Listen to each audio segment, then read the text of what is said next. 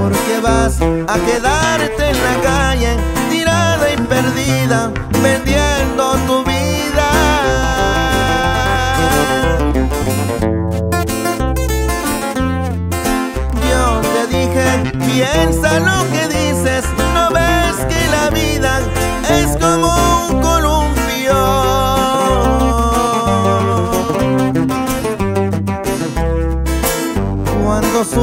se siente bonito, pero cuando baja, eso duele mucho.